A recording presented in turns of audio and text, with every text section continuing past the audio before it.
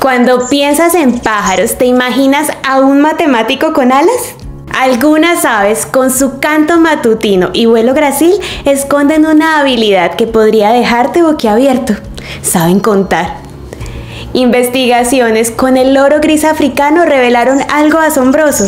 Este pájaro no solo puede sumar cantidades de hasta 6, sino que sus habilidades numéricas son comparables a las de los primates no humanos y niños pequeños.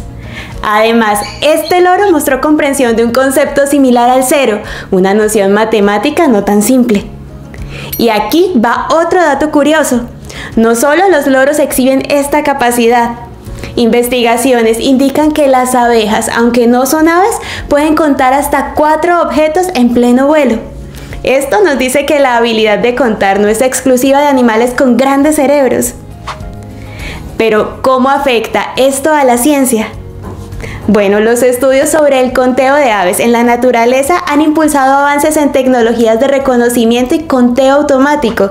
Esto no solo es una herramienta útil para los ornitólogos, sino que también pone en relieve la impresionante capacidad de las aves para navegar y entender su entorno.